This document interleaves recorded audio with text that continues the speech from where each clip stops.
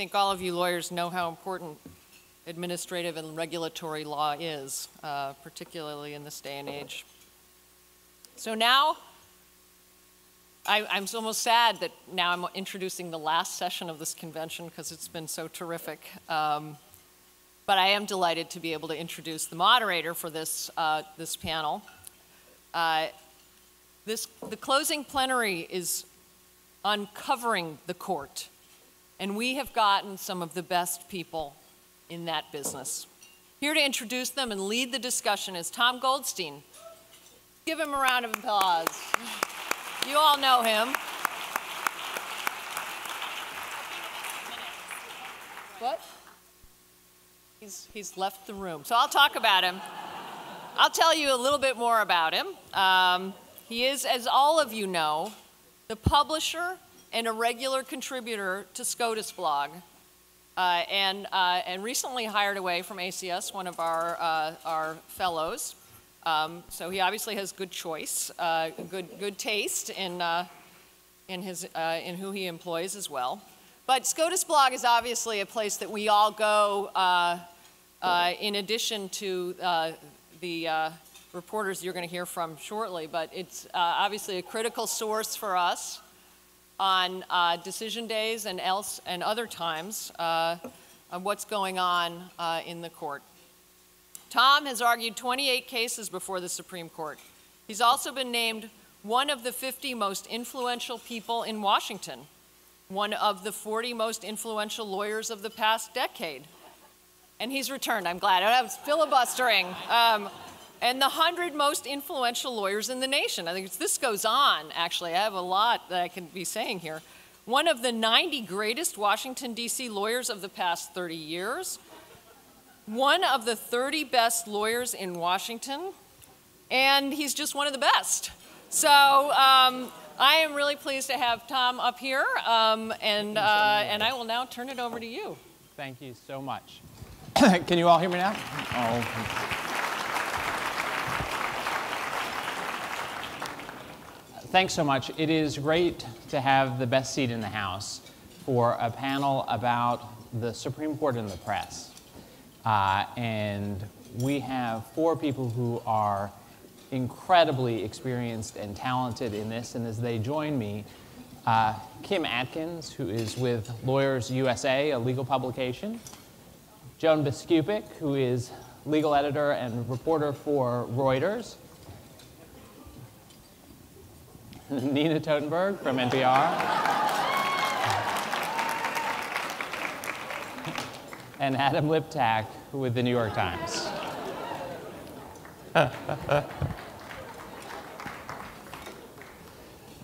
so, the four of us, in talking about this program, thought that there would be two things that we could do that would be most helpful and most interesting to you and they would be to give you a sense of what it's like to be a member of the Supreme Court Press Corps, the challenges that the press face as they relate to the court, particularly as the court changes, as technology changes, as the media change. And then to talk about the role of the media in respect of four particular cases uh, that, or groups of cases that are in front of the court this year that you've been thinking about already.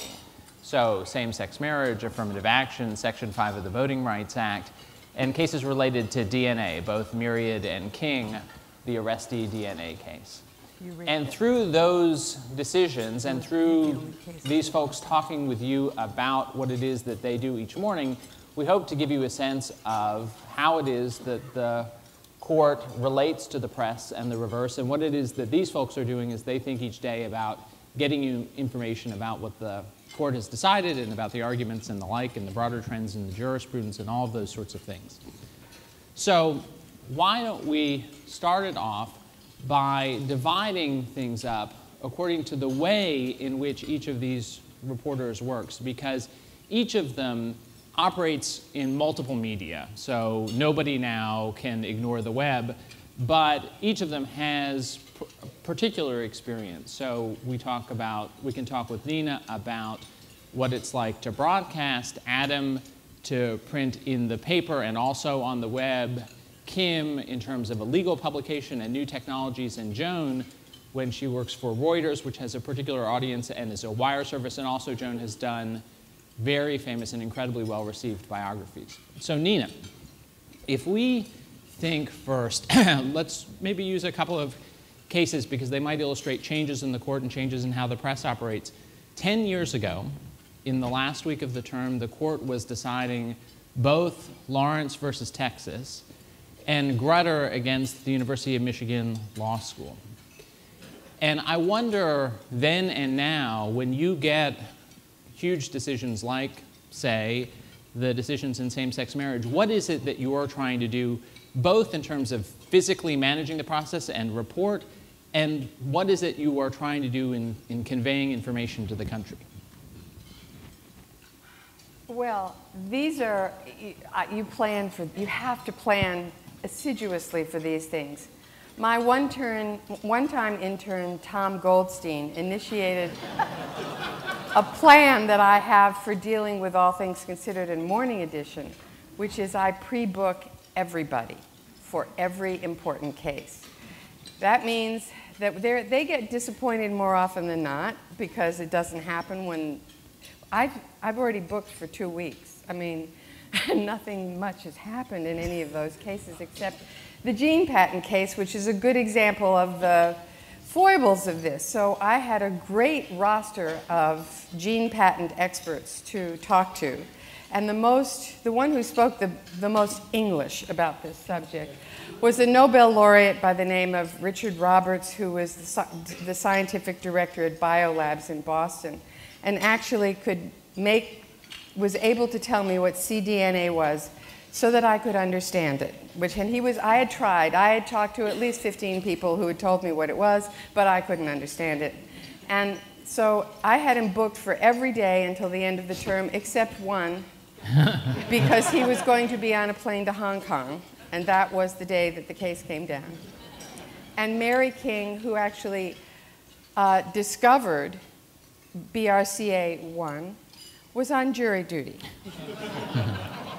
and thank God she got sprung, but it was, she did get sprung, and, but she was three hours uh, earlier than we were, so that made it a little hairy. I still had, I think, seven or eight people lined up. Being that they were all patent experts, only about four of them made it onto the air because the other three didn't speak English. Um, despite my best efforts. So I line up people for every day in every, what I deem to be every major case, and it's a, it's a spreadsheet with their telephone numbers. They're each allocated a time slot. Are, will you be free at 1 o'clock Eastern Time? Yes, okay. I'll be calling you at exactly 1 o'clock. And at 1.15, that, that interview will be over because there's somebody else scheduled at 1.15. It works really well in the case of the ACA, I did 11 interviews in an hour and a half, I think. And so I had plenty for Morning Edition, plenty for All Things Considered, but I have other venues I have to worry about. And of course, those interviews have to be cut. You have to pick what you want out of them. They do usually give me a producer, which they don't normally, at the very end of the term. So somebody's sitting with me during those interviews, and I say, let's pull where he said this and pull where he said that. I may use one for morning and one for ATC. But the very first time I'm going to be on the air is likely to be at 11 o'clock um, live into Morning Edition, which is 8 o'clock on the West Coast. And for big cases, they completely shake up the show. And I'm there live talking about what the court did. And it's the principal reason, other than my own oddness, that um, I sit in the courtroom to hear the announcement of opinions because it's the best way that I know of to understand what the court has done and to not miss some major caveat. I could easily miss it reading, um, reading even the summary. The, but you, I think you, you would not miss it in the courtroom. It does sometimes, once or twice, I've had to get up and leave. Um, I think during the during the, one of the Guantanamo cases, the dissents went on so long, I had to get up and leave to go downstairs to file live to, and at, at 11 o'clock. Um, And then, of course, there is the web. Now, NPR usually assigns, on a very big case, assigns somebody else to write the first web piece. As soon as I'm done with All Things Considered, I will turn around and convert my story into a web piece. And then I'll do morning edition. And in between, I'll do newscast spots. So it's a busy day. So, Adam, I'm struck by a few things. One is the centrality of the interviews and how it is the person speaks to what Nina does. And I'm really interested in whether that holds true for you in any respect. Also, both of you stayed upstairs during the ACA. It was a really important part of your process. You, you had a focus on understanding it all. Other screw it up folks had a different focus. um, the, and so I wonder, and what pressures you feel given the move towards the web versus getting something in the paper the next day. Uh, so on that last question first, I've given a lot of thought to new media, and I could give you a descriptive answer, a normative answer, but I think the best way to think about it is, is it good for Liptak? And, and the, the answer to that is surely no. the proper way to do newspaper journalism, as the great Linda Greenhouse, who's with us, used to do it, is to go to the announcement of the uh, decision by the justices of the Supreme Court, who will sit there and patiently explain to you what they think of the highlights, to come downstairs, to read the whole decision, to digest, consider, mull, have a sandwich, and at the end of the day, in the fullness of time, give birth to a beautifully constructed newspaper story that considers context and consequences. That was the old way to do it. The way I do it now, and the Gene patent case is an example of this, I do go upstairs, and I'll talk about that a little bit more in a second. When I come downstairs, we posted a 75 word version of what just happened in 15 minutes, and then a 400 word version, maybe half an hour later, a 600 word, word version in the afternoon, and a pretty good 1200 word version for the paper. Each of those versions was read by fewer people than the first, than the, the one before it, meaning there's an inverse relationship between quality and readership. and, you know, it's, the, the whole thing is troubling, and yet I don't know how to address it because the need, we're a news organization, need to tell people right away what's happening given the competition, given how good SCOTUS blog is, given that the wire services have always been good, given that, and this is a fairly recent development, the underlying resource materials are now widely available to whoever wants. So you're working in a different kind of environment. I do take a little comfort from something I saw on Slate this morning, where an actual scientist reviewed Justice Thomas's uh, gene patent decision and said that his account of the science had uh, the quality of an earnest seventh grader's book report. and I thought, well, if I can aspire to that, I will be doing Supreme Court quality work. Um, as far as going upstairs or not, we're, we now have a real split in the press corps, and the geography of the court matters a little bit. There's a press room downstairs where we have little cubicles, and as soon as, as soon, little, Very as soon as the justices start announcing the decision, the paper copy is handed out to those people who are downstairs, and they can start writing and filing. Alternatively, you can go upstairs and listen to this. I completely agree with Nina. Very valuable explanation. But you're incommunicado, have no electronics, and it takes 20 or 30 minutes often. And that means you are inaccessible to your very, very nervous editors. Um, and so we have repeatedly had the conversation, both in healthcare and now for the upcoming big decisions we're about to have, about do we still do this? And I half volunteered to say, screw it. If you want me to write fast, I'll write fast. And bless him, my bureau chief David Leonhardt says, no, there's historical context here to ha not have the Times Supreme Court correspondent in the room to see these things being handed down would be terrible. But, and uh, Joan still goes upstairs. Kimberly, I don't know what you do. Nina comes upstairs. I'm, well, if I'm there for oral arguments, I'm, I'm there for it. But my, I don't get a little cub- cubicle in the Supreme Court building. My, my office is downtown. So on mere decision days, I'm watching But- SCOTUS but- blog like everyone else. But the LA Times has given up going upstairs.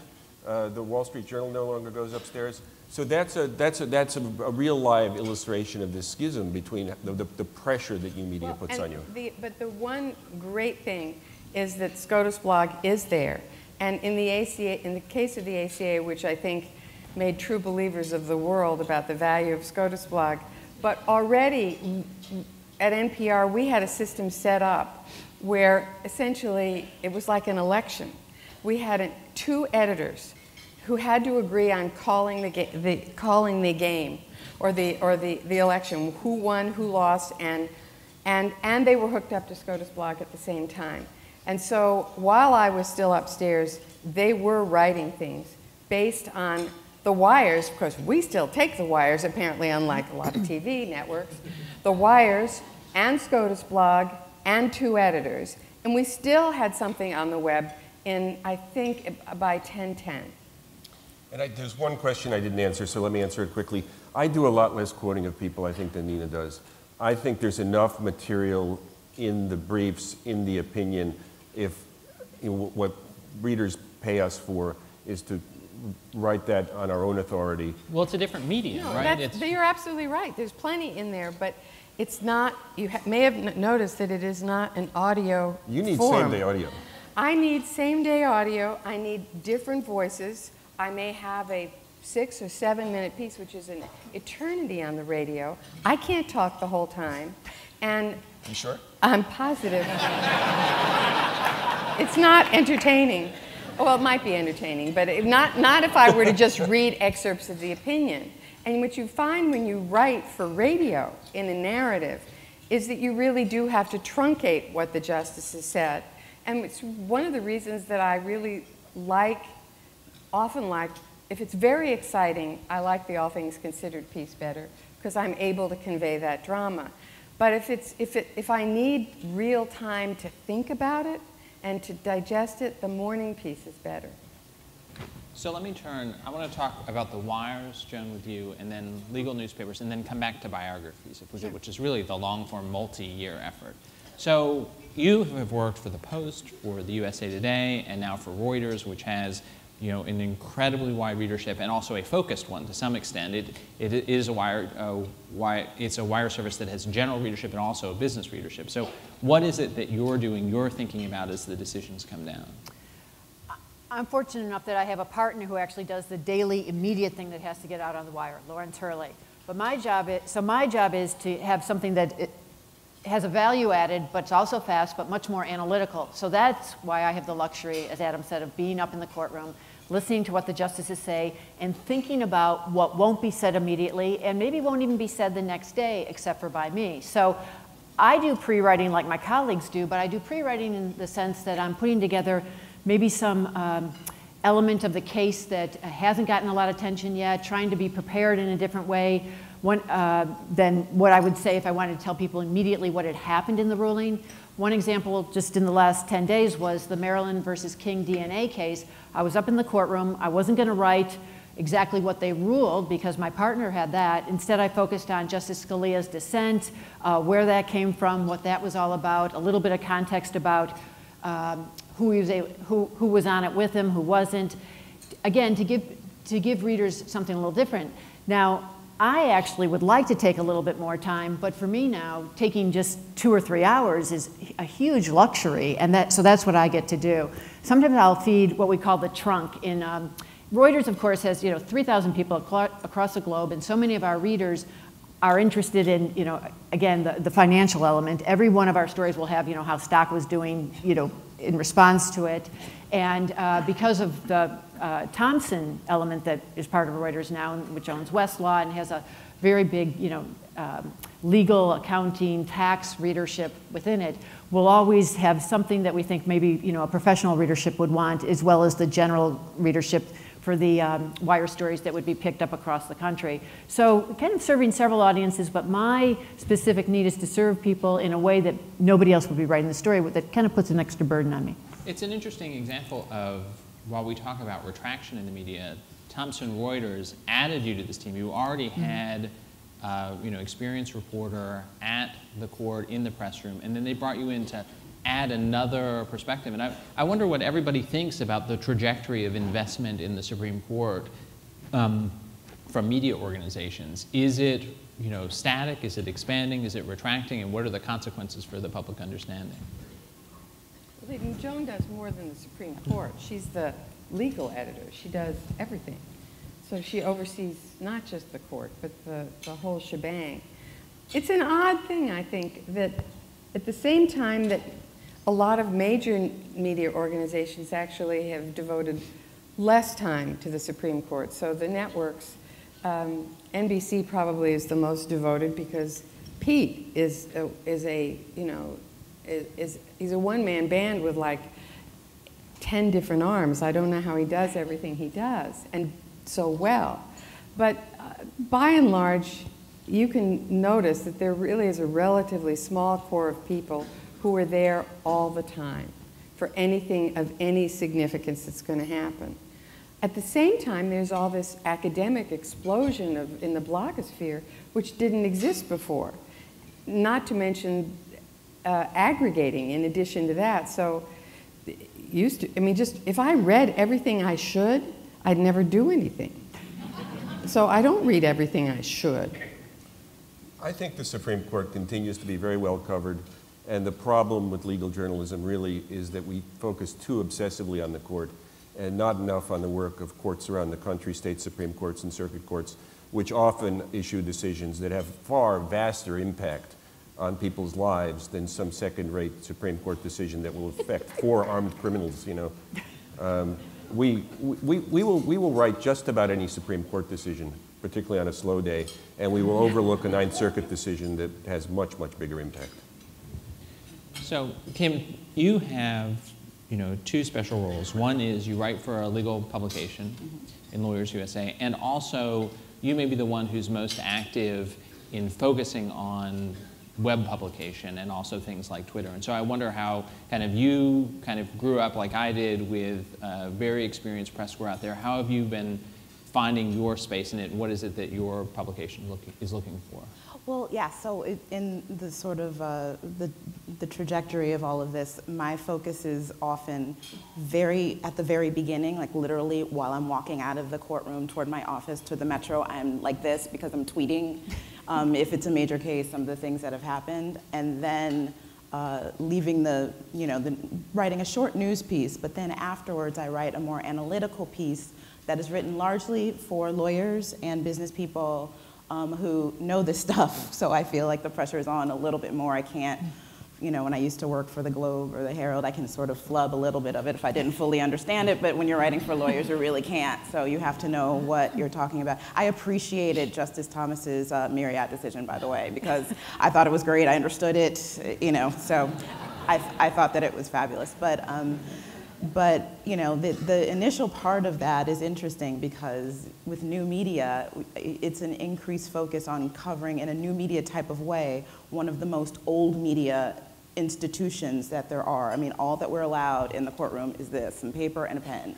Can't take a cell phone, can't take anything. And readers want to know exactly what's happening right away. And, and it's great that SCOTUS blog has found a, you know, a great way to do that for the release of opinions, to have that in real time on a live blog. But you know, you can't tweet what's going on during the uh, healthcare arguments or during the same-sex marriage arguments. And so I find myself doing things like I have my notebook and I divide it up to, you know, write down the broader points that I'm going to analyze later. And I literally have a section where I write little notes that are under 140 characters because I'm, pre I'm preparing what I am going to tweet the minute I leave the courtroom because people really want to know what happened, you know, what's going to happen. I also find that there's a lot more interest. I mean, uh, Adam was talking about how the earlier stories get the most readership, and I find that there is a tremendous uh, more interest in what happens at oral arguments than there is uh, when the actual decisions come down. People are people and and what they want, what a lot of my readers and followers want to know, which it took me a long time to get comfortable with. Uh, they want me to make predictions. They want to know how the court's going to rule, even more than how the court actually does rule when they do rule. and so, in that sense, it's just like, well, what happens or what does this mean? I remember after uh, the Prop 8 case, I'm tweeting about the possibility, it seemed at oral arguments, that the case could be dismissed as improvidently granted. And I'm trying to explain on Twitter what that means. And people are asking me questions, you know, send me back responses, and what does that mean, and what's the fallout? And so some of my lawyer friends sort of joined the conversation and helped to explain it, which I was very uh, thankful for.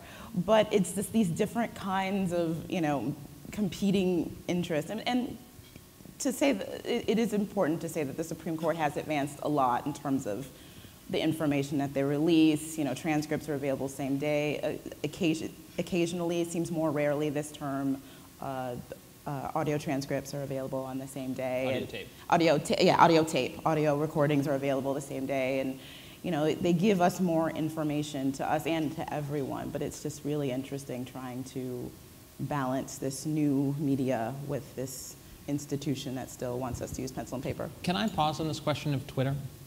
And just whether you all see some value in it or are on Twitter because an editor has told you that we're doing Twitter now. And I just, I am interested. And because it is, you know, these cases are complicated, uh, they're technical. You know what people pick up from me in Twitter, and I don't tweet a lot, but I do, you know, you're supposed to do it, so I try to do it. Um, but in truth, what they pick up, what, what, what you can tell, how many people have, and how many they tell you how many are your, it's a favorite or whatever the hell that means. Um, uh, I bear, listen, I, I only learned how to text about three years ago. So, so uh, but what gets picked up are the things that are not the news by and large. They are, uh, I did a piece about, um, about Sotomayor presiding over, over the reenactment of uh, the Curt Flood case. And I, um, I tweeted something like, um, Sotomayor in chief seat for reenactment of Flood v. Kuhn. And I think that had more pickups than anything of any significance that I've done probably in six months. Adam? So uh, and I want your answer on this too, because I know you're a Twitter presence. I think it's, it's fun. It allows readers in our paywall system to get behind the paywall, because if you come through a Twitter link, um, you don't have to, you know, it doesn't count against whatever the limit is. And it establishes a sort of community and relationship between uh, you and your readers. Uh, I, I don't think there's anything wrong with it. It's way down on the list of things we ought to be doing. It is a vehicle through which to take note of something goofy that might not rise to the level of a story. Yeah. You all? Joan?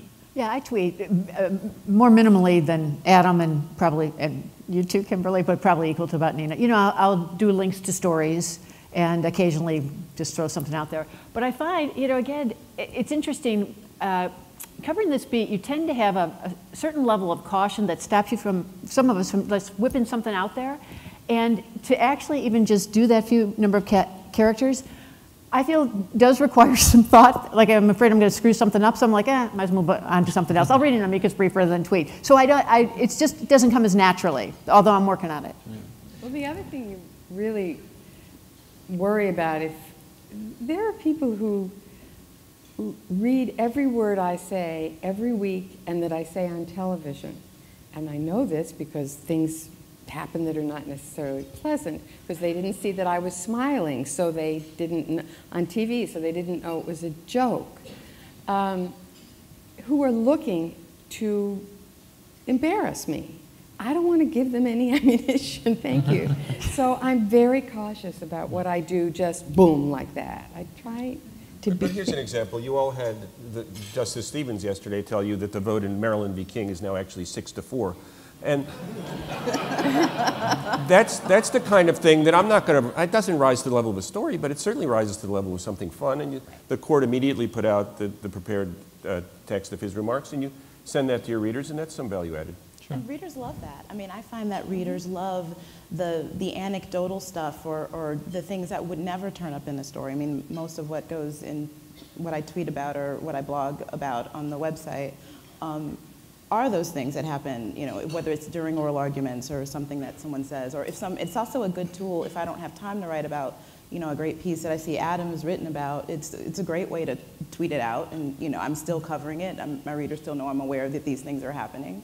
Um, but you can share that information. But people love to hear different things, you know, how. Do you find that you think in 140 characters? I'm not at that level yet. I'm not at that level yet. So. But we can all aspire takes- to it. exactly.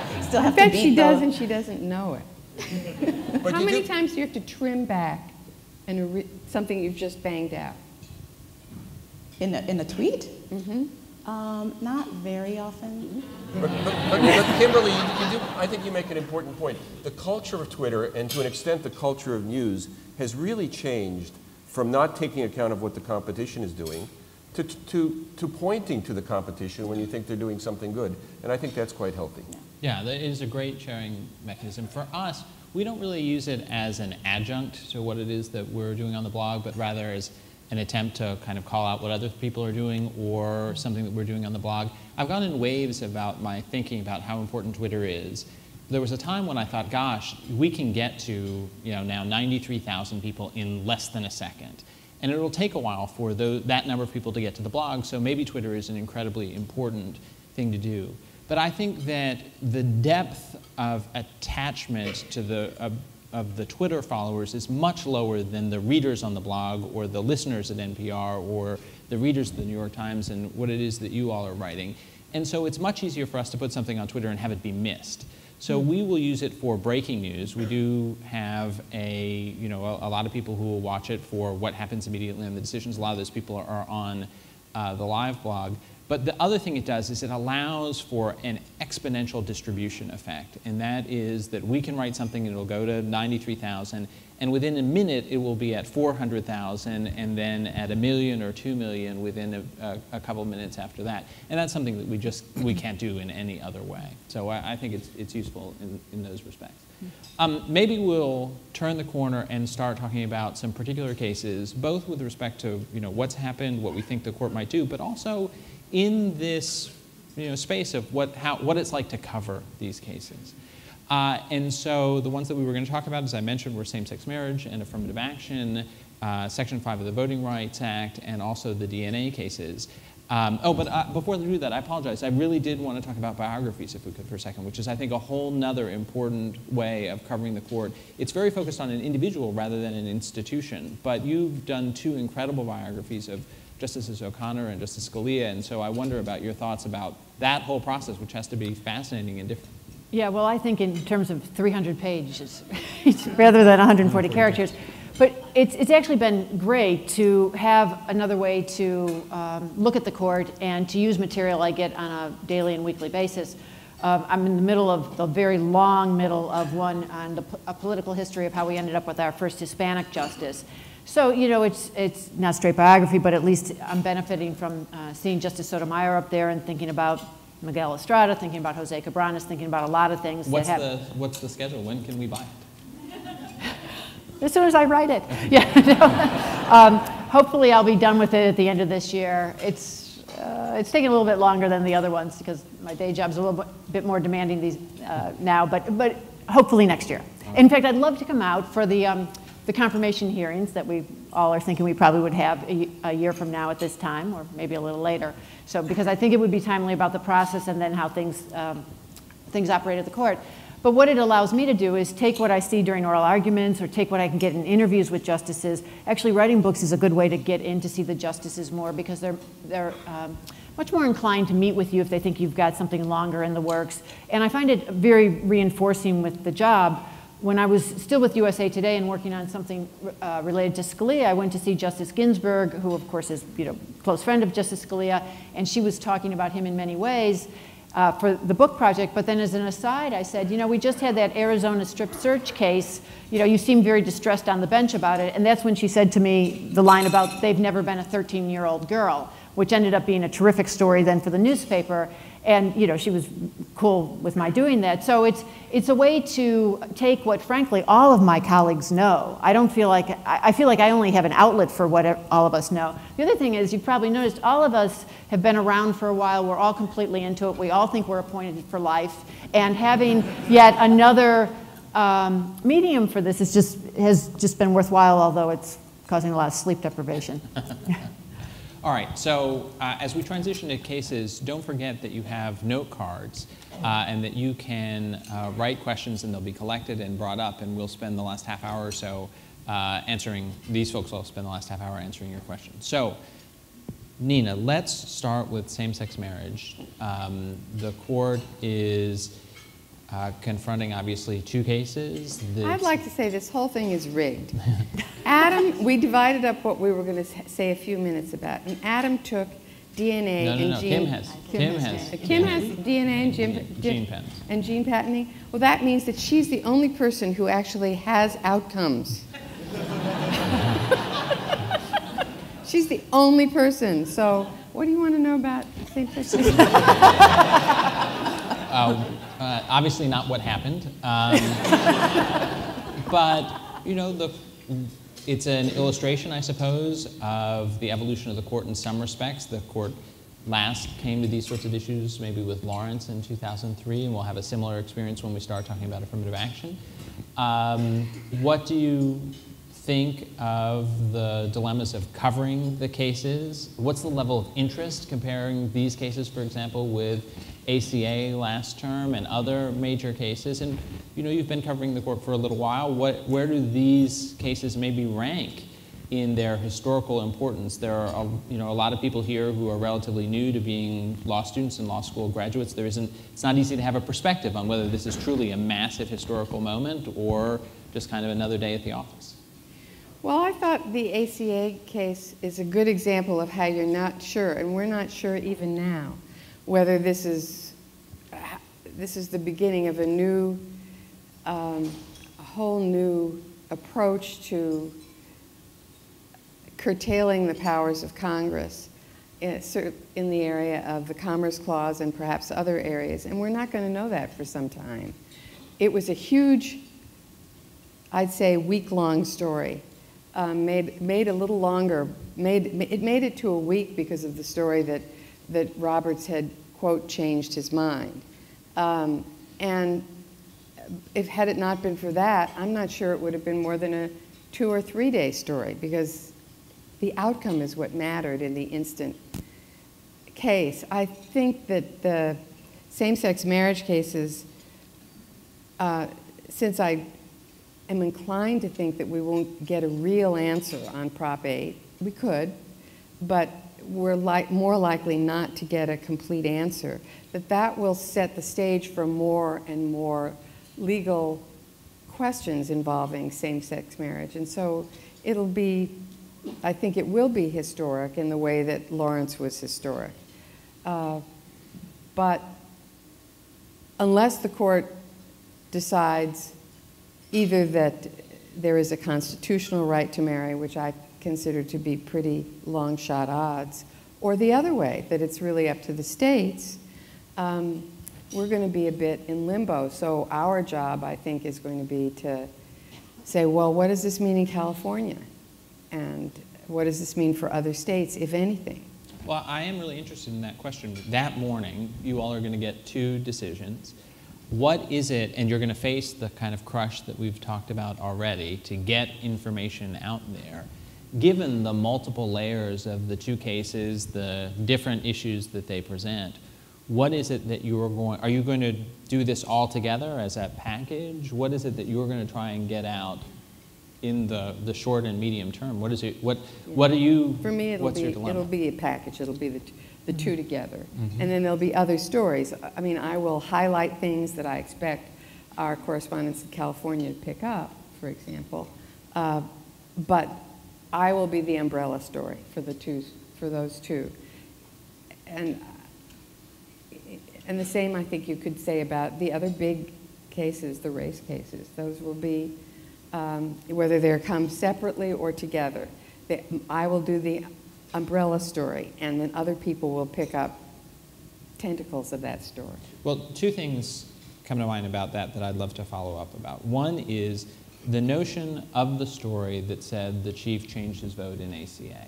And not whether it's right or wrong. I, you know, it's, it's a leak and it's very hard to know for sure without inside information what happened. But it, it does strike me that other press corps focus very hard on stories like that, and that the competition in the beat, you talked about competitors, Adam, the competition in the beat is to break things like that. And I wonder how you see the Supreme Court press corps functioning and where the role of, what the role of stories like that is in what it is that you do. We're journalists like anybody else, uh, and just as a journalist covering the State Department or the Pentagon wants to find out the secret stuff, we do too. But it's very hard because this is the rare institution in Washington that with the notable exception of healthcare and the broad outlines of that, but maybe not the particulars, do seem right to me, uh, it really doesn't leak. Uh, but I don't think that we have any cultural predisposition uh, against finding out secret stuff. I think that's our job. Do you pursue it like in your daily work?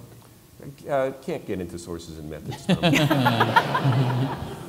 But I think that's what made it the story, though, to me. It wasn't just that you had this leak and, and Roberts changed his mind, is that I had been writing a lot leading up to that about how there are no leaks at the Supreme Court, and then here's this massive leak. I mean, that's what made it interesting.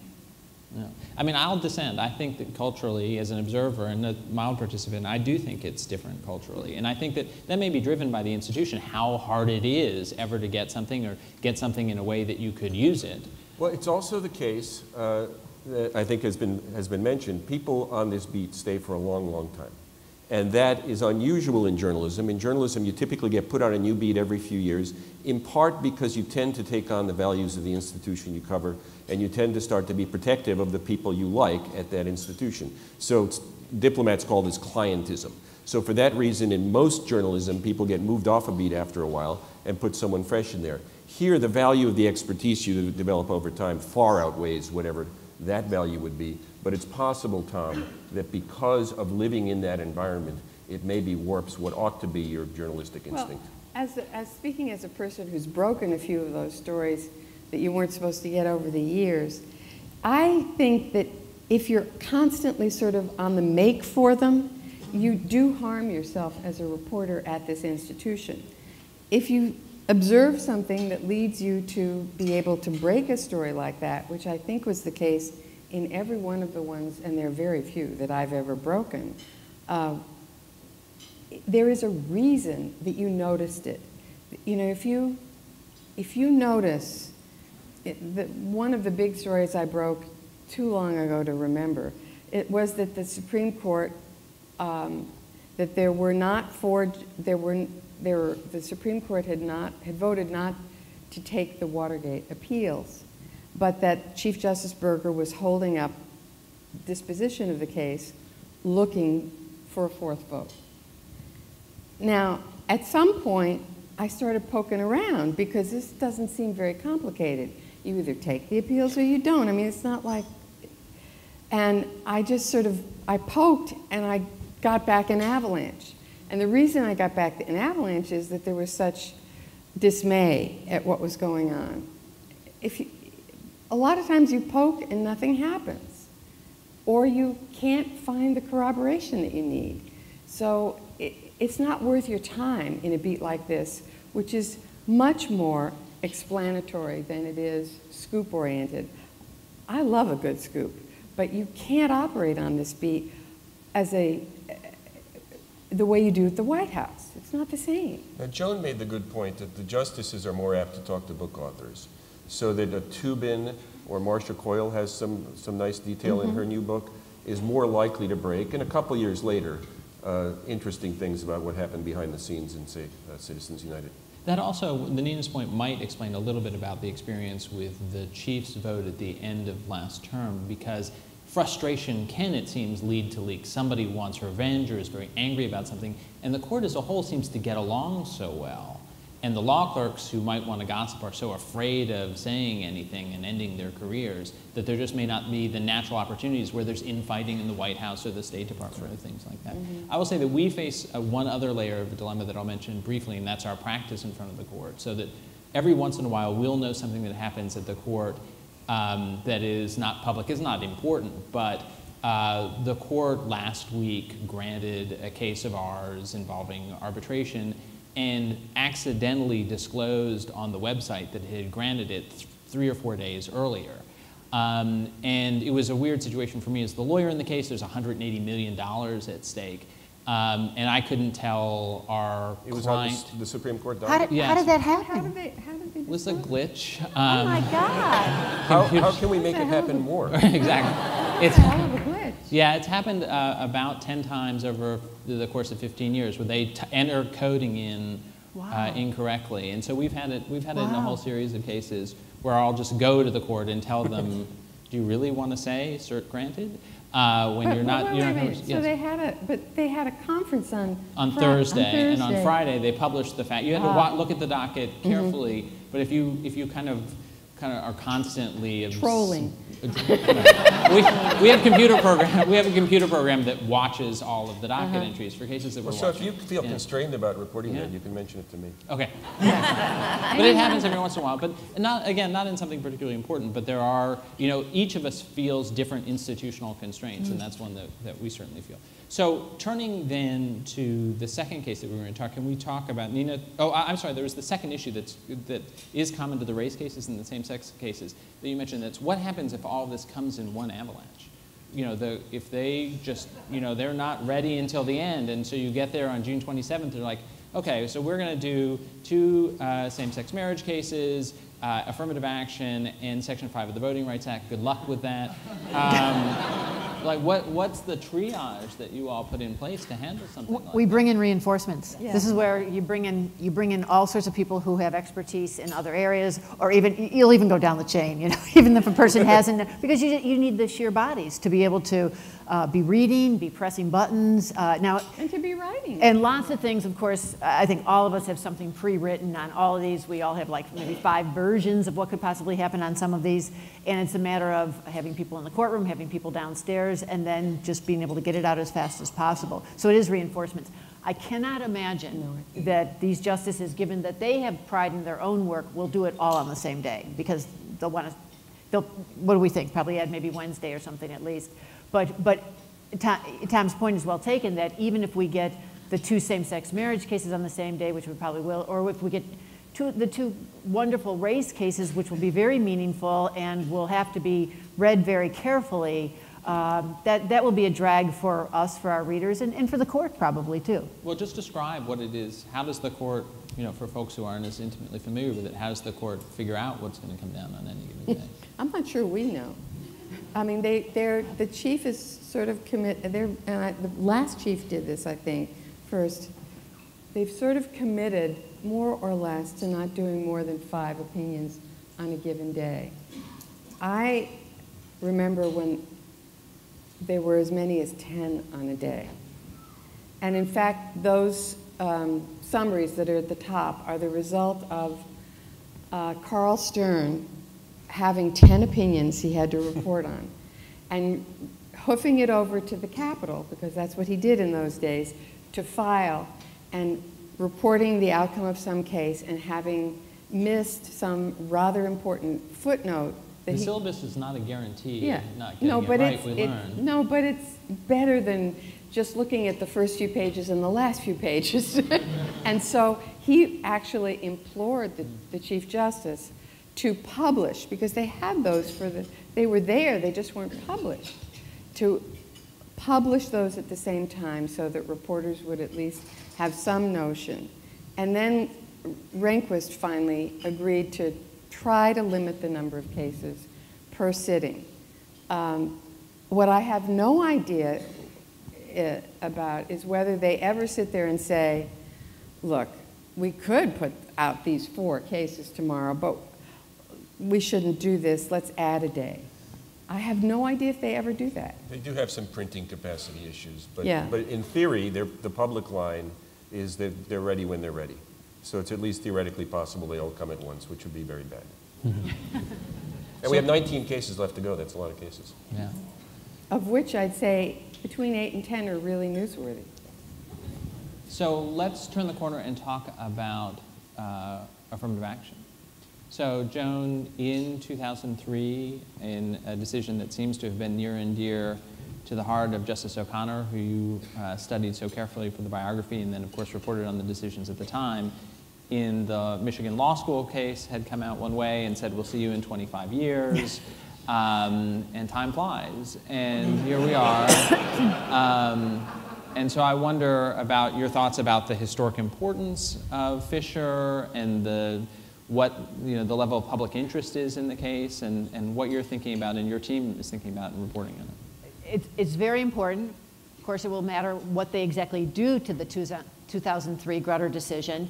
Uh, that's the ruling where Justice O'Connor uh, said that, you know, the path to uh, education, to uh, full employment in America should be open visibly to people of all, all races. It's important for leadership to be diverse. And, you know, it was just a really strong endorsement of what Justice Powell had written in Bakke 35 years ago. And uh, she reinforced it with vigor. And uh, Anthony Kennedy, who has, is now the swing vote, dissented from that. And Justice Alito, who is very much uh, even more to the right than Justice Kennedy on racial issues, succeeded Justice O'Connor. So there's a lot of potential here for uh, retrenchment in, in, affirmative action. This case has become a real mystery to all of us. Uh, I think in some ways we thought maybe the outcome could have been predicted uh, earlier on, but now I'm not sure. It was argued on October 10th by only eight of the justices. Elena Kagan, our former U.S. Solicitor General, is out of the case because she had participated in a phase of it early on. Um, just as we, you know, what's at issue to remind everyone, even though most folks probably know, is the University of Texas program that supplements the top 10 uh, program that allows students who've ranked in the top 10% of their high schools to get in automatically to the flagship university at Austin. There's a, a, a, supplemental program that takes race into consideration to boost those numbers so that the campus is sufficiently diverse for educational purposes. So what, what looked like could happen here was that uh, if the court was inclined in a more conservative fashion, which it obviously is, is to maybe go after just the Texas program and not to really roll back Grutter. So we'd be watching for exactly what's the rationale for them to um, strike down the Texas program if indeed they do. If indeed they, Justice Kennedy says that uh, Texas didn't need to do this program, Texas didn't sufficiently look at other alternatives before it turned to this racial criteria, uh, maybe it wouldn't do so much damage to uh, the 2003 ruling. So that's, you know, there, there seemed to be a way, a way that they could maybe split things a bit and not do anything too significant to the 2003 signature ruling of Justice O'Connor. And in fact, during oral arguments, Bert Rein, who was representing the young white student who had been rejected at the University of Texas, said, no, we're not asking you to reverse Grutter. But um, obviously something is going on because they've taken, this is a, it would be a hard case because it's a racial case, but to go this long, I think that, you know, some of us are wondering, was there some slippage in the votes one way or another? Are they, um, you know, maybe there's not going to be any opinion for the court, even on the Texas program. I, I actually, I can see that they would definitely roll back affirmative action in some way. I do not think Anthony Kennedy, sitting in the seat of Justice Powell, whom he succeeded in um, February of 1988, that he would be the one who would say that Bakke is no good, Grutter's no good in terms of the diversity uh, value there. So I, you know, again, it might just be me sort of seeing things through a certain lens, but I just don't think the court is ready to, to pull the trigger on that. But um, I'm wondering now, just because of how long it's taken. And uh, in the same vein, I'd, I'd, sort of be surprised if they upheld Texas, but who knows? Maybe they won't have the maybe they won't have a majority to get rid of it completely. Although it sort of looks like they might. So can I put out something that I think might be controversial, and I just wonder about your reactions. I seem to remember at the time of Grutter and Gratz that there was a great level of interest in the civil rights community in the cases, and also just a level of protest that you know we are not going to stand for programs like these being invalidated. And I thought there was a big presence at the court. And I just wonder if anybody else has the feeling that I do that when it came to the oral arguments in Fisher and also in the Voting Rights Act case that we'll talk about in a minute, I thought that there was a, a level of giving up in the, and, and uh, a felt sense that there was an inevitability to these decisions in that community that um, it was very striking, but I may be alone in that. I don't know. what, in the people that you were hearing from, in reactions of the re, reactions of readers, do you think that there's a, a, still a big fight that's being fought and not a sense of an inevitability here? I think people care deeply, but we're acting strategically because there's a soft landing, as Joan was suggesting in this case. So in a funny way, in order, not, in order to try to make sure that's the result, you don't want to open the door to cataclysm you want to say, okay, maybe we can live with a ruling that says if you're already getting substantial diversity through race neutral means, you can't layer on top of that race conscious. And maybe there's a place for class based uh, affirmative action. But let's not talk and let's not embolden them to think that this case is about the end of, of Grutter. Uh, because as Bert Rein said, that's not what they were looking for, although Justice Sotomayor responded to him but you are trying to gut Grutter. You know, uh, I think there's something to what you say, but I'm not sure that it's just giving up, although there is some element of that. Grutter took place during the Bush administration, and there was even a fight within the Bush administration about what position the administration would take because President Bush was actually a great proponent of affirmative action, oddly enough. And, uh, but the so the politics were very mixed up in, in that case internally within the administration. But it was,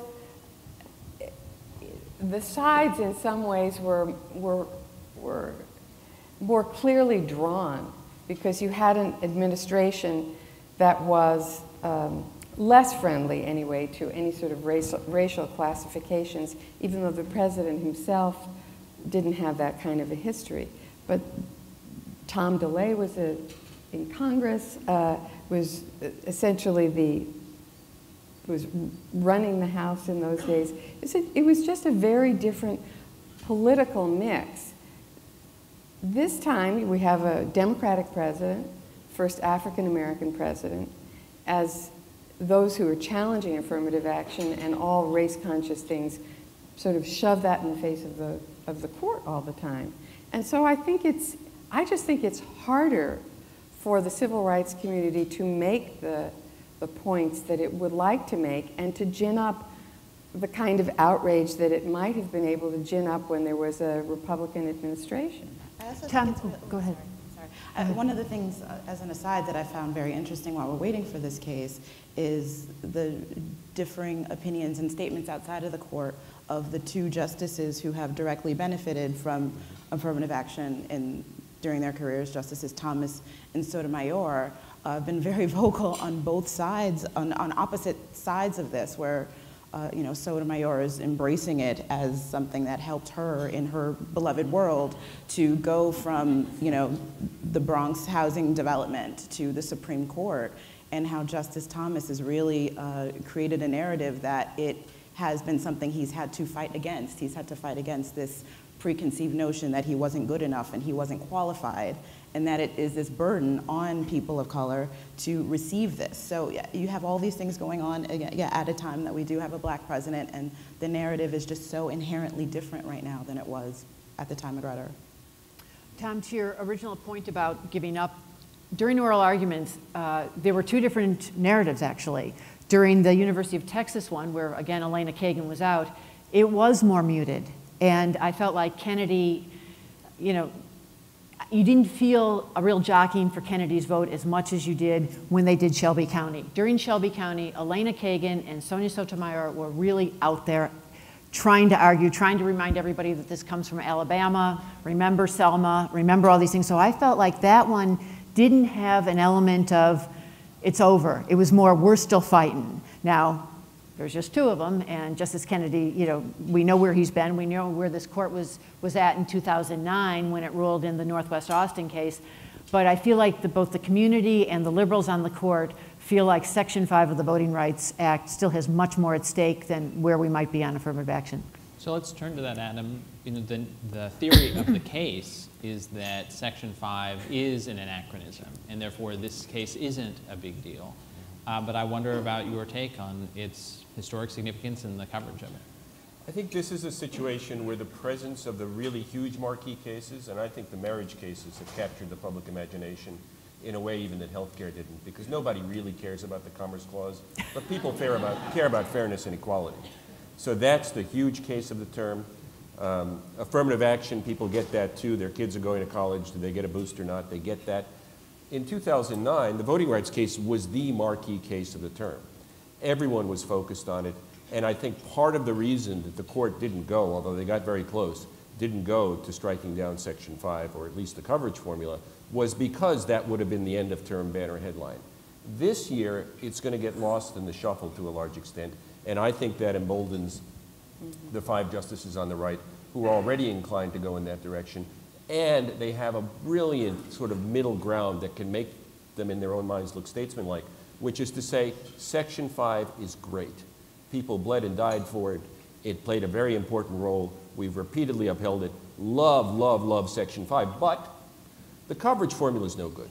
Coverage formula needs to be based not on 1970s data, but contemporary data. If Congress, you go back to the drawing board, we love Section 5, but you're going to have to do it on contemporary data. And that will have the practical consequence, of course, in this Congress, of blowing up Section 5 in a way where the justices on the right are going to feel that their fingerprints are not all over this. Now, they're not going to get away with that if that's what they do. We will not write it that way. oh, no, I mean, it's not a question of, it's not, you have to write the reality, not the pretend reality.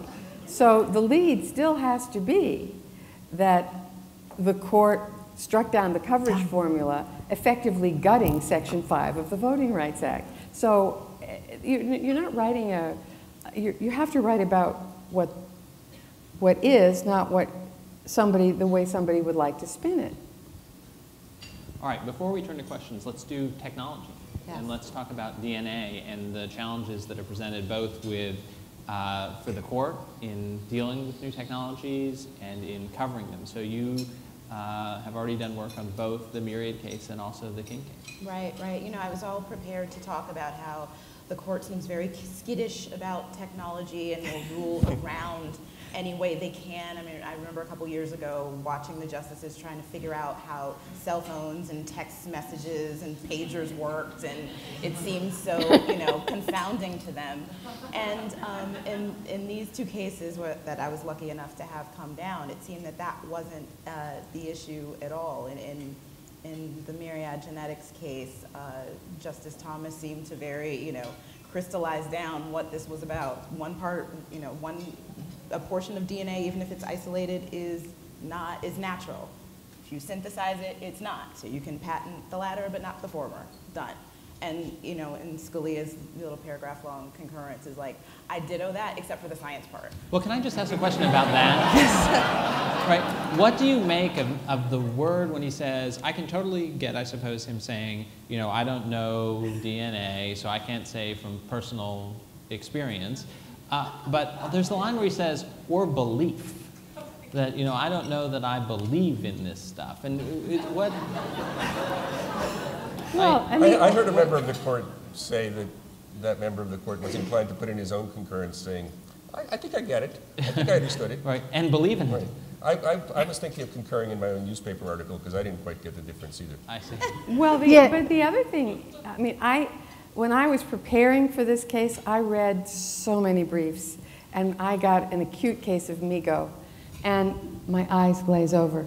Uh, and and I, I kept trying to ascertain what the difference was, in fact, between DNA and cDNA. And it's really not quite clear the way Justice Thomas describes it, nor does he claim in the opinion that it's necessarily uh, patentable. He says it'll have to be essentially a case-by-case basis. So uh, to talk in the, so I, the one brief that was crystal clear to me was the government's brief. It was simple, was really well written, and it tried to make the case to draw the line just the way the court drew it. And it wasn't just dumb me. My husband is a, is a doctor and a scientist, and he was the only one that he got entirely. So I finally said to one of the members of the court who I saw this in, late in this past week, I said, um, I did have the impression that the court was going to go with the government's position because at least you could understand it. And he said, right. Exactly. You know, it was a, I have to say, you know, on the subject of the Solicitor General and the government here, that was a position that they bought because the SG doesn't have a pretty good record before this court, but that one played right into their need. It's funny, Tommy, that you, you mentioned the believe word because most people responded, including the justice that Adam referred to, to his just sort of saying, we don't really get it, don't hold us to it. More the scientific, uh, molecular biology part than anything that would be more ideological. So, Thoughts about?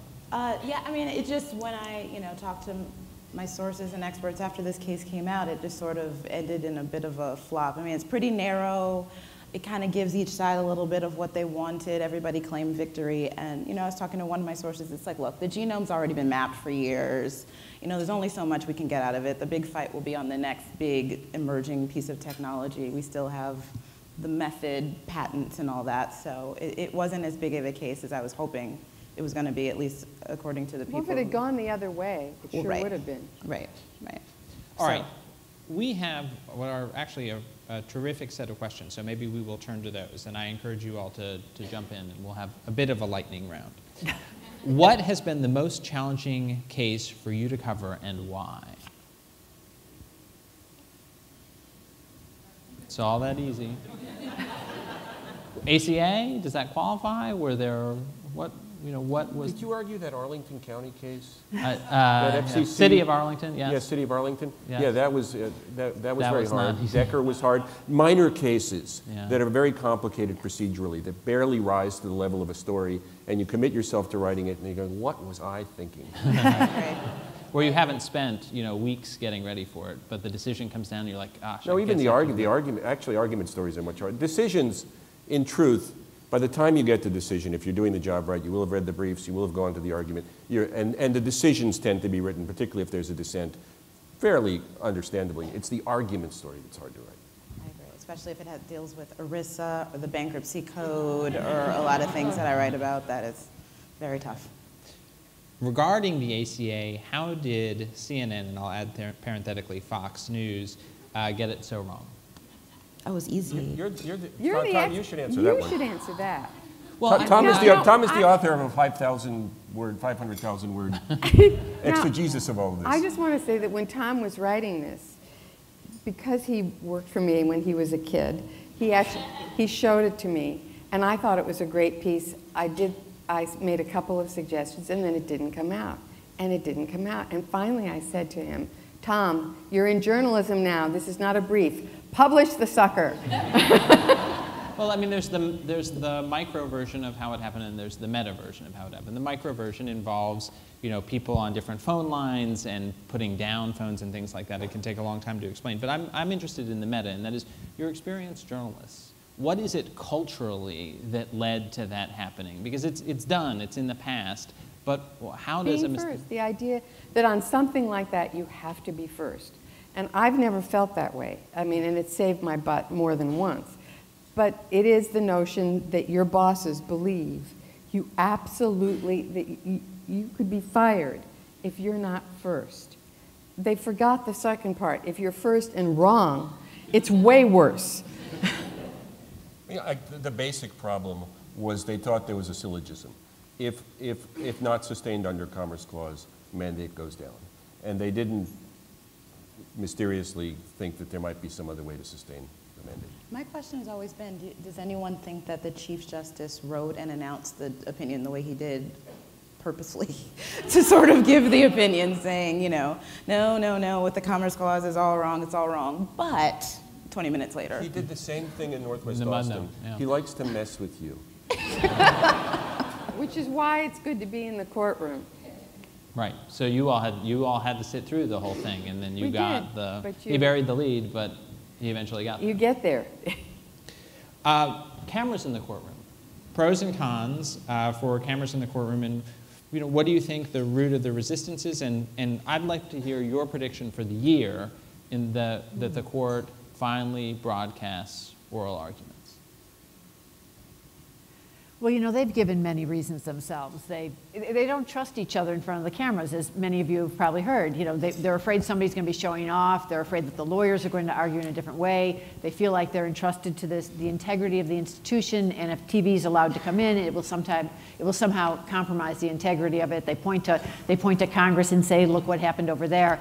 I personally think, I personally think it'd be a wonderful thing for all the people in America to be able to see what happens in the courtroom.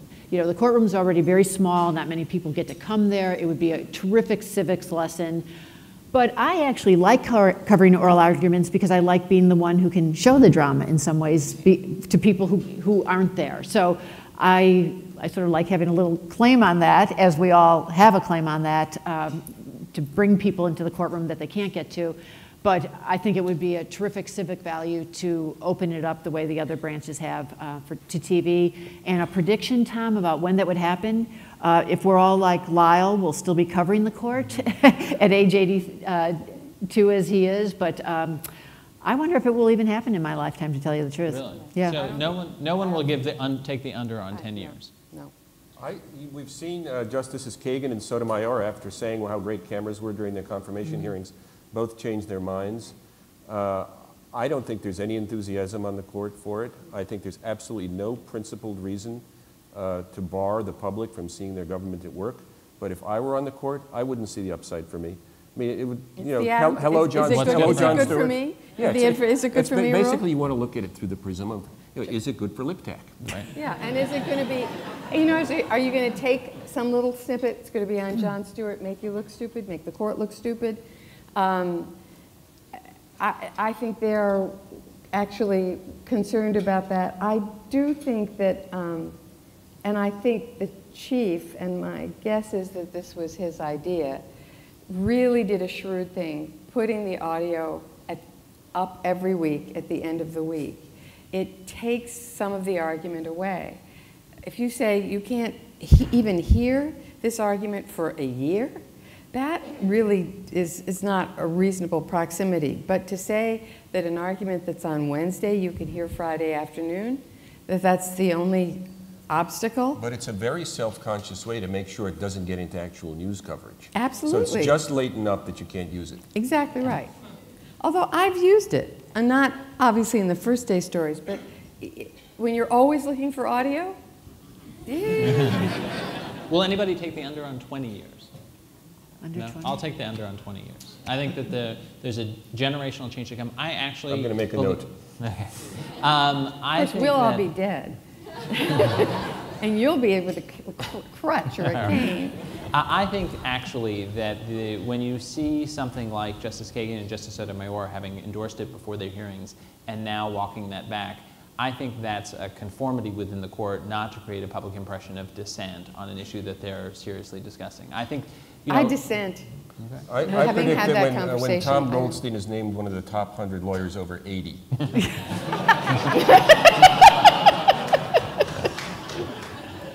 All right. Uh, what influence, if any, do you think the press has on the court from the other direction? We had one example that you talked about, the possibility in the year of Namudno when the case would have been, it would have been such a banner. That's not the press as such, but it's nonetheless the public's reaction to the decisions. But do you, what, you know, either in this generation of the press corps, in the past, or, you know, is there some interaction in that way? wasn't there some phrase people used to throw around? There was a greenhouse effect of some kind. Mm. Yes. I- They, I think they follow the coverage, and at the margins, it's got to affect them somewhat. And in what, but. Hard to what- say. Hard to say. Yeah, I think so. Right. Uh, and you know, some of them care more than others. I do think there are times. The only time that comes to mind, um, there were some press cases in the 70s in which I, I can't remember the name of the case, mm, where the court finally said, no, you can't just keep reporters out of a out of a trial. Um, Richmond newspapers? yeah, Richmond newspapers. Uh, and I, and that, there had been a lot of press coverage because prior to that, there had, there were other cases that seemed to suggest that that might be a possibility. They were all centered around protests and stuff like that. But, and, and I did think that that had an effect on the court. Well, it had this effect. Burger would self-assign the pro-press cases and farm out the anti-press cases. Well, it did, but I think also people actually said, well, we, we don't really want to be in the position of, of not having public trials. Of so uh, there had been questions raised from previous cases that I, I think led to a very strong opinion in Richmond newspapers that might not have happened otherwise. Yeah, my, for the little that it's worth, my impression is that I don't see the justices changing their views uh, with, in response to press coverage. I do think that the shifting tides of the country, for example, on same-sex marriage, have to still affect, the, say, the center of the court. even if not in the judgments at the issue, how they express things. It would be very shocking to, for example, see a decision written today the way Bowers versus Hardwick was written in 1986. Uh, we're, I, we aren't even technically part of the press corps because the court still doesn't recognize the blog. But if, if a justice, we get calls from justices who disagree with something that we write or, or find some statistics that they don't agree with. Uh, so they definitely follow their press a lot. Um, on uh, the next question, you know, there's a lot of discussion about oral argument and how active it is. And so this question reflects a, a sense that perhaps that that reflects some broader disagreement within the court, that it's oral argument can be so rancorous, there can be so many questions. Is the court, the question asks, as an institution becoming less civil or perhaps more civil? What's going on both with respect to oral argument and the relationship between the members of the court? I don't think it's, I don't think it shows that they disagree more, it shows that they talk more. Yes. The newer justices ask more questions than the ones they just replaced. Uh, I think many of them are self-conscious about the fact that they, it looks like a catastrophically overbooked cable TV show sometimes. The, the advocates don't have a chance to respond to questions. Um, but I don't, I don't think it's an instance of sort of polarization, it's just personality types.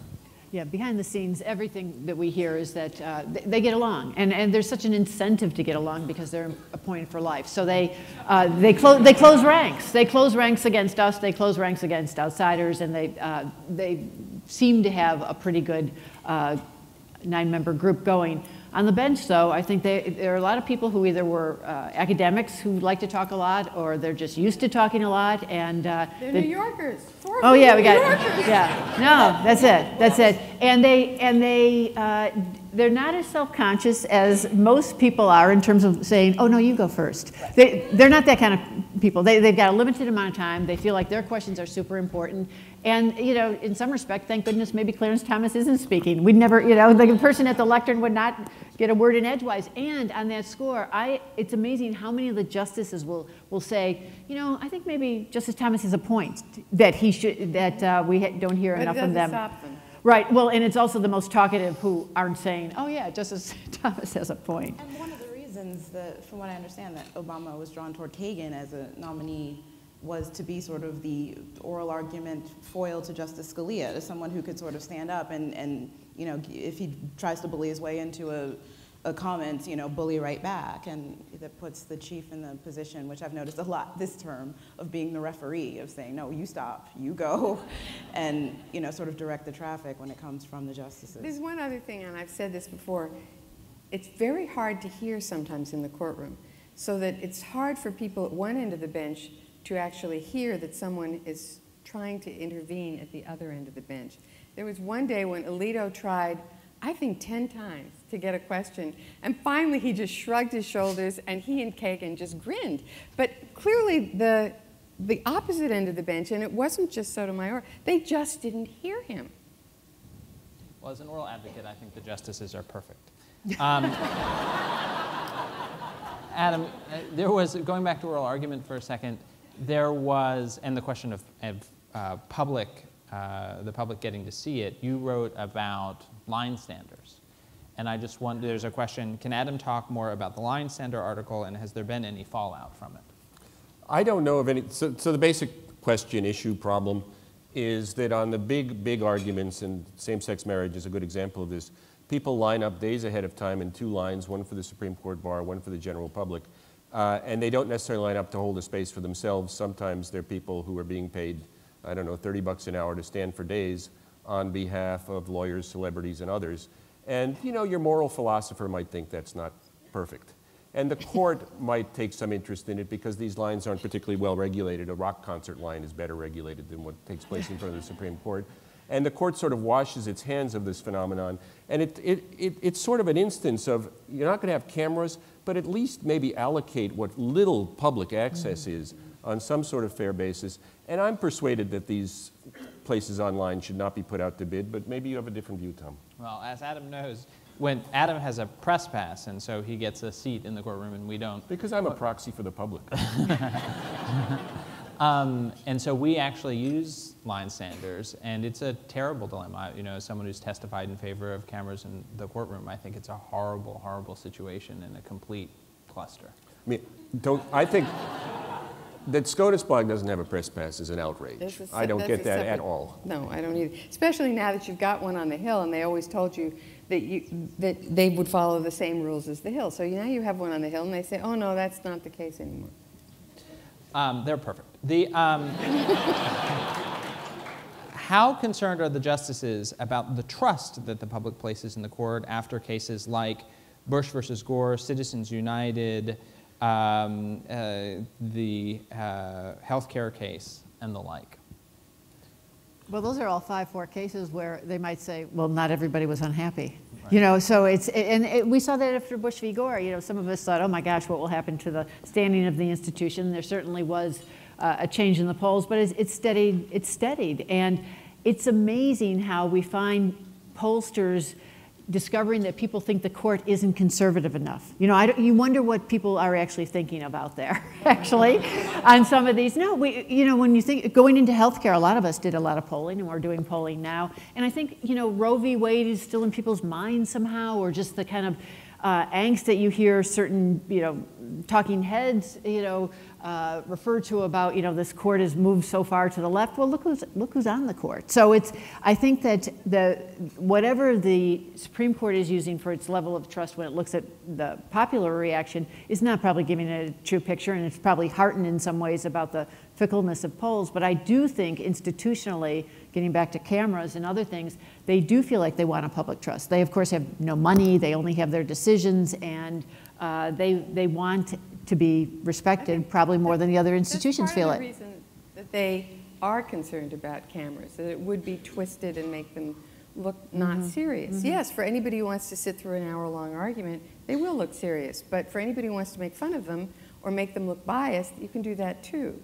So I think that's part of their concern. But uh, in fact, the polling hasn't stayed static. Like every other institution in government, um, except apparently the military, uh, the public confidence has gone down significantly since, uh, since 2000. And Bush versus Gore,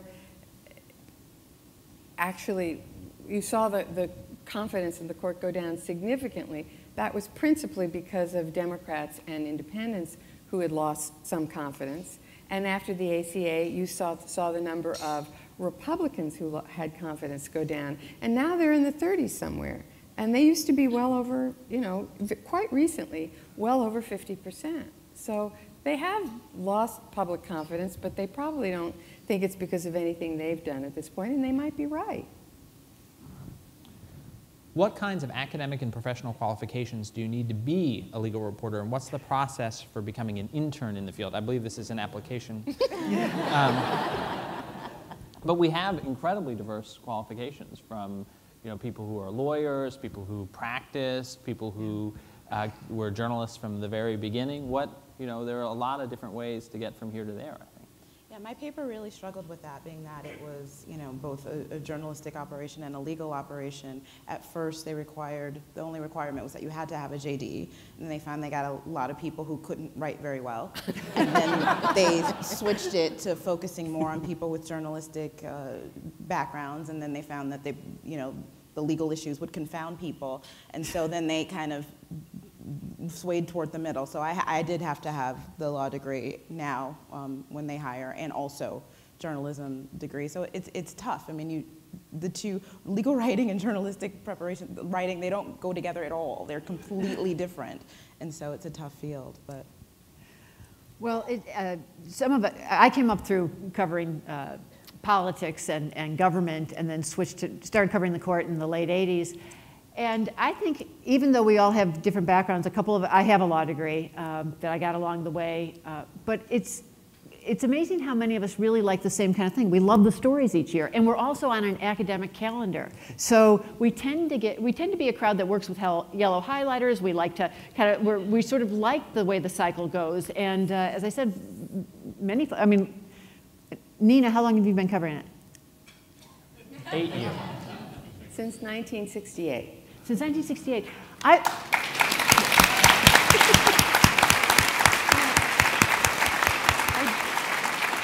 Now I cover pretty much most of the time only the court. I do have an NSA story for Monday or Tuesday or Wednesday, whenever. but, but in the old days, I covered the court, the Justice Department, all the intelligence community, and the House and Senate Judiciary Committees.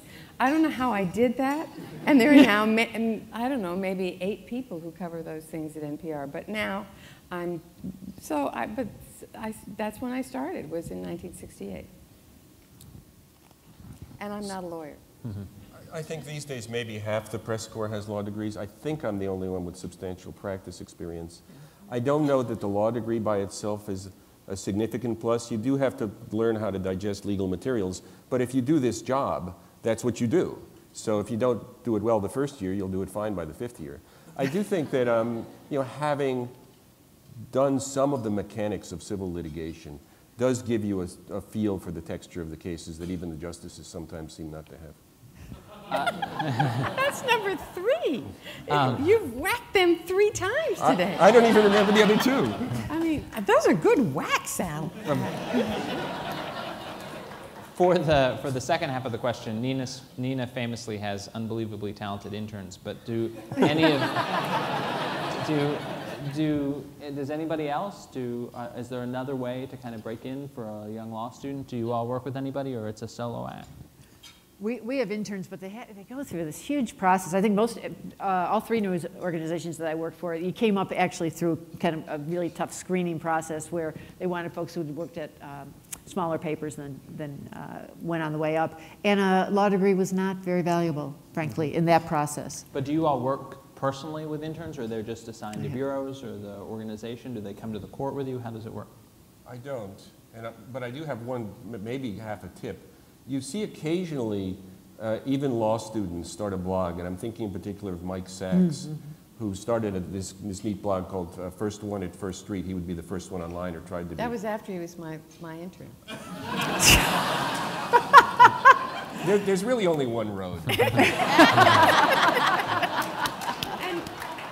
I, I used to take, and I still would, I suppose, if I got a spectacular undergraduate applicant.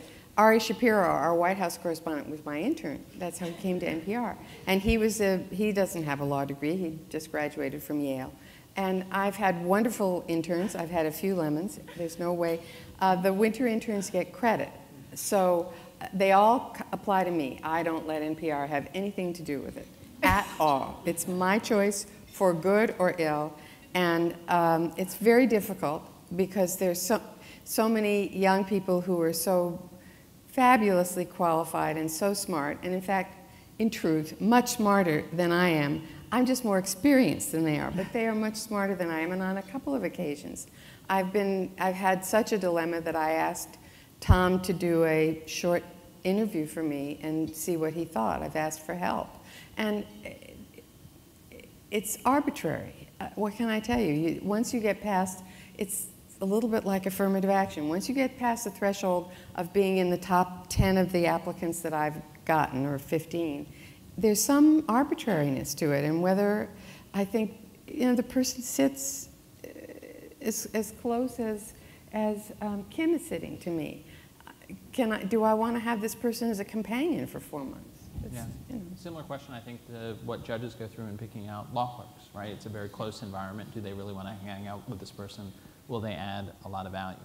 Uh, let me, I think what we're going to do, since we started 10 minutes early, we're going to try and finish 10 minutes early. But I wonder about closing thoughts about this court. Um, and, you know, is, it, it strikes me that this term in particular is genuinely special. I mean, you gave the example, Adam, of how the Section 5 case would have been the banner case.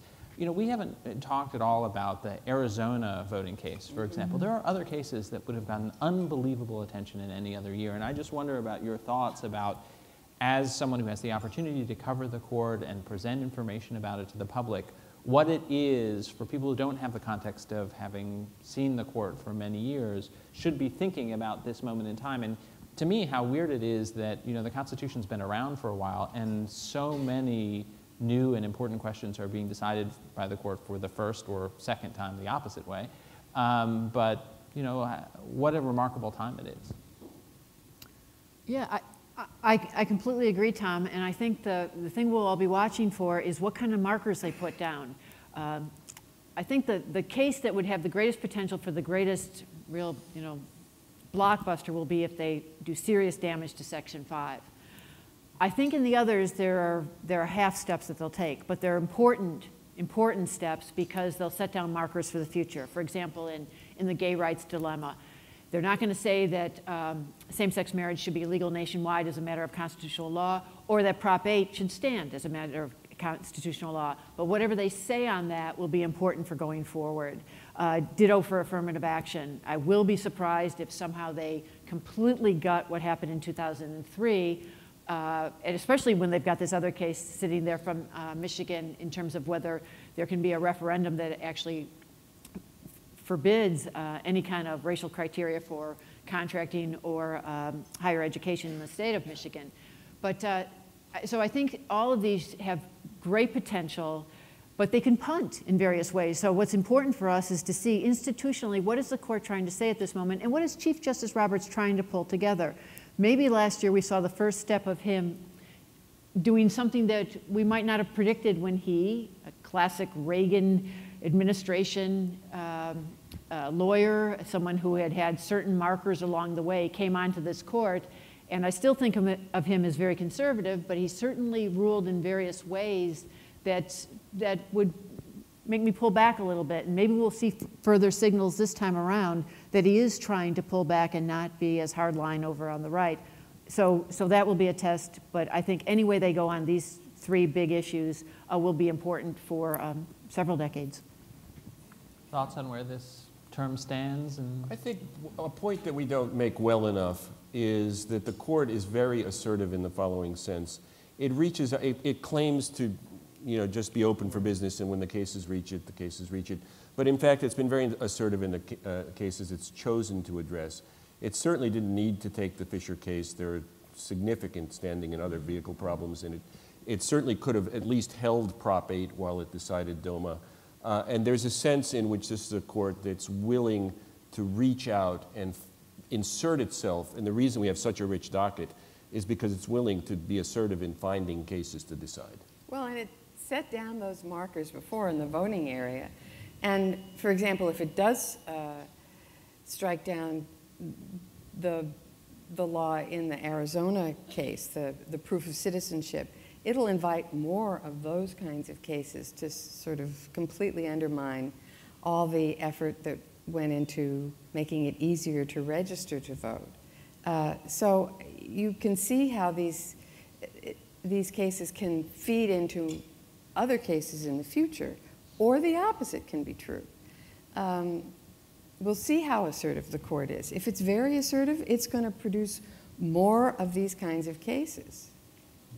One interesting example is what areas has the Roberts Court not gotten into in terms of really reversing the legacy of the O'Connor era, and what could we see that they haven't done yet? They have a semi-significant religion case, That's, that's right? And they have an abortion cert petition out of Oklahoma, a kind of cousin of a post Roe v. Wade case, and so that really, the assertiveness on those kinds of questions will Well, be it'd be really interesting. interesting since we have a court, the conservatives on this court are, we would have thought pretty much executivists, but we'll start to see in the, uh, lab, in the NLRB case and in probably cases to follow, whether in, a, in an era when the president is no longer a Republican, and we had a generation of mainly Republican presidents, we'll start to see whether that switches too, whether suddenly executive power is somewhat diminished um, uh, instead of enhanced. I would say one thing in, in fairness to the Roberts Court in this crowd. This term, there have been more authentic and fairly significant nine zip decisions, not with fractured concurrences and so on, but really all nine of them finding a way to address a significant issue narrowly.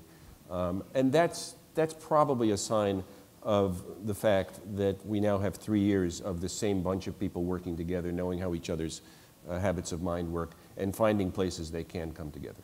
I think that also speaks to the question as to is the court aware of its perception? I think that it's very aware of its perception. It's very aware. I think the Chief Justice is very uh, aware about how he wants the court to be seen or not wants the court to be seen in terms of history. I think the healthcare ruling was a great example of that, that it's about more than finding the, the right vote. It's about, you know, ruling in a way that does not seem to be, you know, predictably conservative or, or mm-hmm. things like that, that it's a, a broader issue at work.